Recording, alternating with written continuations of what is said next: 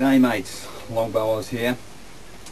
Uh, recently I've been looking at the videos of Troy Hurtubise and his silly suit he made with the troops in Afghanistan. Um, quite frankly, the man's a Fruit Loop. His, uh, his suit is shameful. It's like a child's toy, like with the uh, cock clock and things like that. Um, I've gone one better. I've designed a helmet I'm only up to the helmet stage, of course. Um, but even at this stage, it's streets ahead of anything I've seen on the market before. Um, I've got it down here. Bet you'd like a look. And here she is.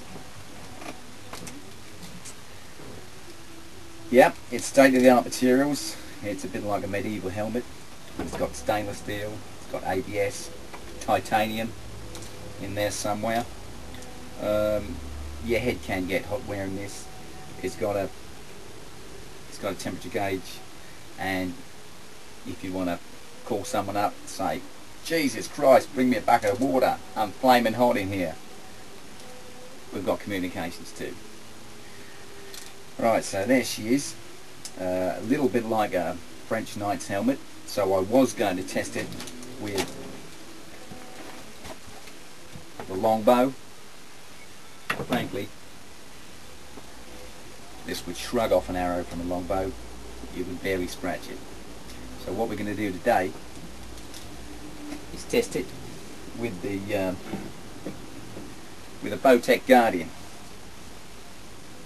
Okay, set at 70 pounds.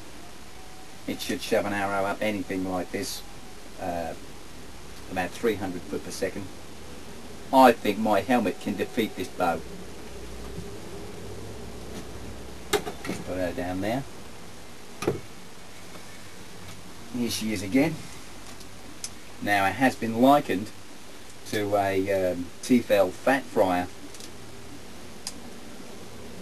by people who don't know shit about anything actually. I like to call it my protective overmantle for really intelligent troops. Uh, that's the POMFRIT for short. Remember that name, the POMFRIT. You'll be seeing this on many front lines soon. Okay, let's go and test now.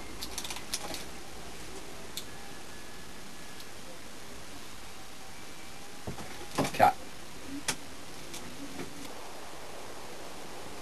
Okay, so here I am with the POMFRIT 2000 helmet in my secret testing ground. It's a bit like a bat cave, but out in the woods here. Let's see how it gets on. Follow me.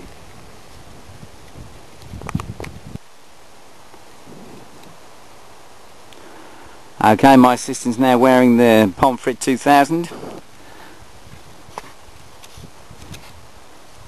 course, now he'll be able to withstand a direct nuclear attack, perhaps. Um, okay, Drew, get your unprotected body behind the target.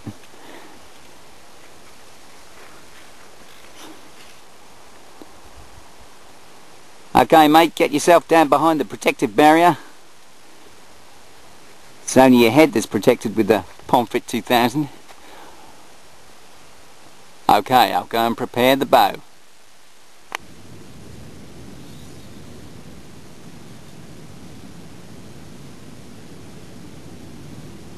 Let's just make this ball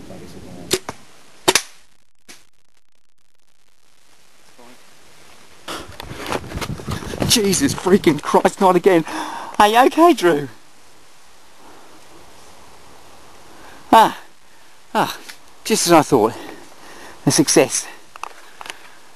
The POMFRIT 2000. Ah, here he comes now. You haven't damaged it in any way. Oh, what's got into him? Someone pissed on his Barbie. I'm not bloody joking. Our boys are dying out there. Out there in the bush or in uh, Afghanistan because they haven't got helmets like these. Now if you send me your dollars, your Australian dollars, I'm going to make sure they all get one. And if we've got enough left over, we'll have one some for the scouts and the girl guides too. Now only the other day I had some of the top brass from the Navy interested in my helmet. And that's a recommendation for you.